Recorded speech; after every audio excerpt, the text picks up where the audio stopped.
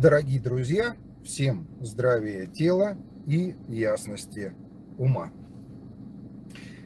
Сегодня вечером по Таиланду я вышел в эфир для того, чтобы сказать несколько слов в ответ на те комментарии, которые так или иначе содержат э, один и тот же вопрос. Вопрос э, задан в разных вариациях, но смысл этого вопроса всегда примерно один и тот же. Будь, можно ли что-то сделать с душой? Некоторые пишут, некоторые пишут комментарии, что вот это чудо-защита, э, э, она блокирует возможность выхода души из тела. А кто-то пишет, что э, различные чудо-защита уничтожают душу. Кто-то пишет по поводу э, того, что душа страдает. Кто-то пишет по поводу еще чего-то. Душа, дорогие друзья, она имеет одну единственную функцию. Это функция наблюдения. И у души есть э, некое свойство. Это свойство безусловной любви. Свойство безусловной любви – это э, то, что называется спокойная улыбка Будды. Когда мы любим что-либо без какой бы то ни было зависимости, безо всяких условий, это называется безусловная вселенская любовь. Так вот, отвечая на вопрос, с душой сделать ничего невозможно. Это нерушимое. Я напомню, и во многих других видео я неоднократно говорил следующее. Повторю это и сейчас. Святый Дух, отождествленный с телесно-умственным аппаратом и облаченный в монаду, является индивидуальностью, а облаченный, соответственно, интегрированный с телесно-умственным аппаратом, отождествленный, является душой. Это не совсем персональное, а, не в том смысле персональное, в котором люди, находясь вот в этих физических телах, это не та концепция, к которой люди привыкли. Душа не может ни страдать, ни плакать, э, ни еще каких бы то ни было эмоциональных действий э, совершать. Душа является Святым Духом, отождествленным с телесно-умственным аппаратом.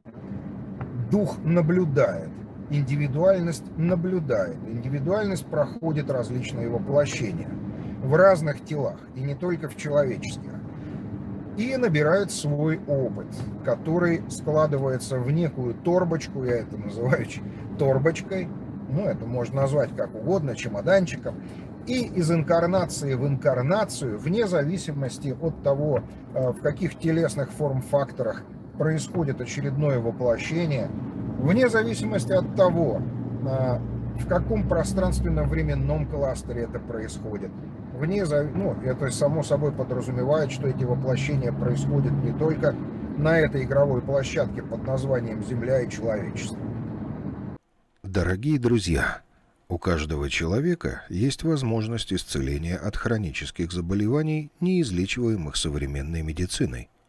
Подробную информацию о записи на консультацию и о результатах исцеления пациентов вы можете найти в описании к этому видео.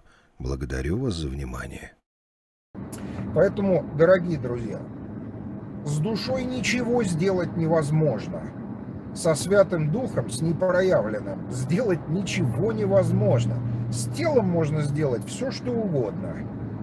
Но что такое тело? Тело – это всего лишь то устройство биологическое, при помощи которого мы с вами путешествуем а, в этом пространственно-временном месте, в игре. Мы с вами находимся в игре. А тело является тем самым устройством, при помощи которого мы путешествуем в этом мире и совершаем какие бы то ни было действия. А, душа есть нерушимое. Святый Дух или непроявленный, или сток сущего, Куи в своей интеграции а, со всем материально проявленным является духом или душой. Ну, мы, люди, называем это душой. Его невозможно никак не уничтожить, не трансформировать, ни что-либо с этим сделать. Это нерушимое. А с нерушимым вне времени и пространства и с не имеющим имени что можно сделать?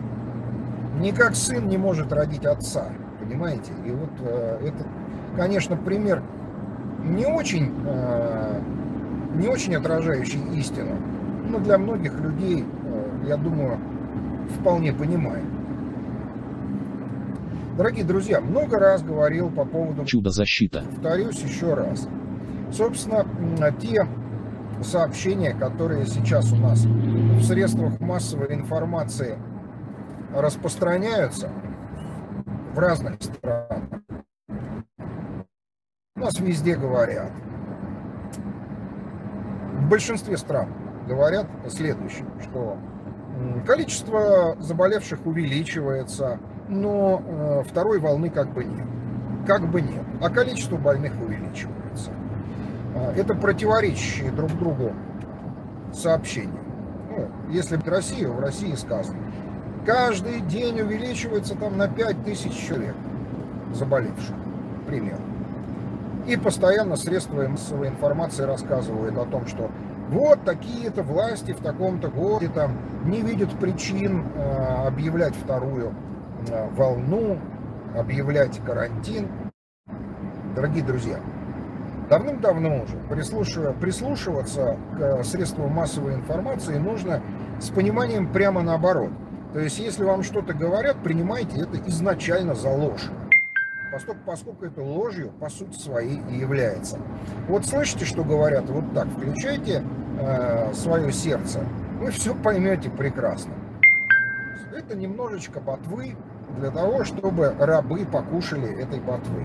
И немножечко лапши. Ну, сейчас уже особо-то и не стараются как-то приготовить эту лапшу, чтобы она повкуснее была. И ботву тоже уже даже не, никак не обрабатывают. Просто вот с грядки взяли и в рты, так сказать, запихивают рабам. Но так или иначе, человек, который просыпается, сбрасывает с себя арабские оковы. А оковы у нас из денег. Я эту историю давным-давно рассказывал про демона по имени Крат, который придумал в свое время демократию, так называемую еще во времена Древнего Египта это все случилось. Поэтому еще раз э, скажу всем тем, кто спрашивает относительно и беспокоится за свою душу или за душу там, э, кого бы то ни было еще. Душа есть нерушимая. Ничего невозможно с ней сделать, никак невозможно на нее повлиять. Она не плачет, она не смеется, она существует как нерушимая, проявляет свою функцию, функцию наблюдателя так было, так есть и так будет. И это невозможно никак изменить.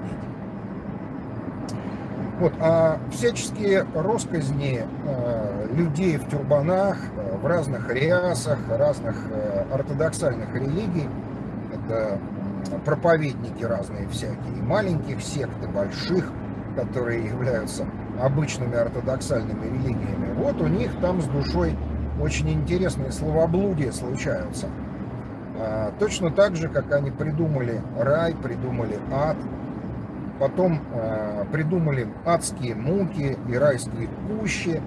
Все это предназначено исключительно для того, чтобы порабощать еще более централизованно, для того, чтобы оморочить человека еще более глубоко. Внутри каждого из нас а, есть Святый Дух, и оно одно на все сущее – и не только на человеческий род. Оно на атомарном уровне содержится во всем веществе Вселенной. Поэтому мы все есть одно оно.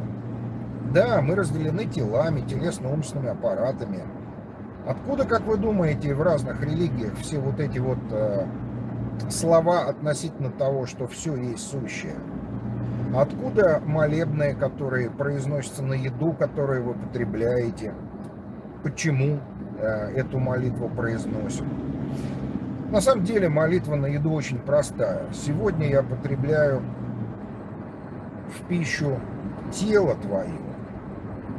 Завтра, а по космическим меркам, сто лет это завтра практически, я стану уйду в землю, стану растением, растения съедят дети твои, потомки твои, и все возвращается на круги своя.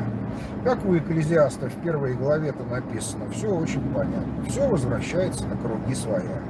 И понимать это надо буквально дословно. Мы состоим из элементов этой планеты. Эта планета, по сути, является нашей матерью. Как я уже много раз говорил, невозможно любить ногу матери, а руку не любить. Ну, сидите вы на ноге. А вот э, мать-то расчертили.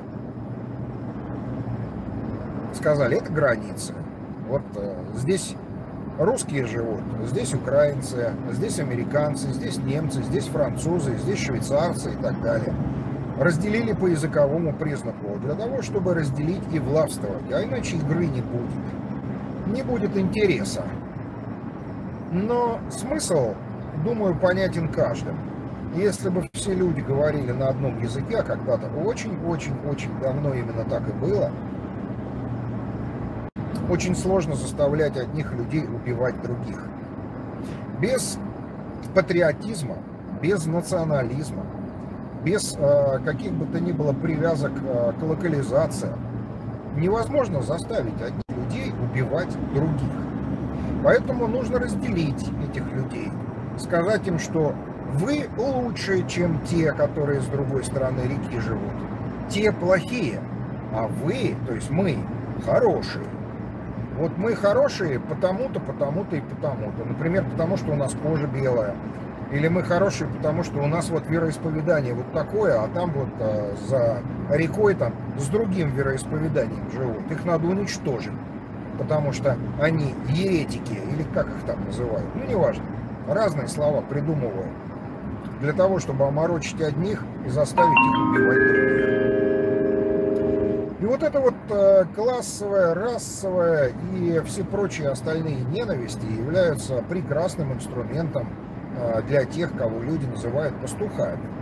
Но э, пастухи сами на ниточках, ими тоже управляют. Душа или Святый Дух находится во всех объектах, в том числе и в тех, которых вы ненавидите. Ну, по тем или иным причинам на текущий момент времени люди много кого ненавидят. По разным совершенно причинам. Но все эти причины саморефлексичны и эгоцентричны. Потому что ненависть рождается только в уме. Дух не может породить ненависть. Дух находится в состоянии безусловной любви. А ум порождает ненависть.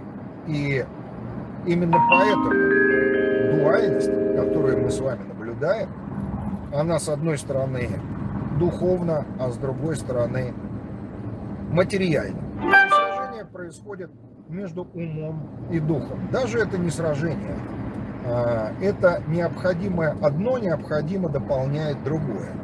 В этом случае в сознании рождается та самая площадка, в которой есть противостояние, как две стороны шахматной доски, как черные и И вот эта игра происходит внутри каждого.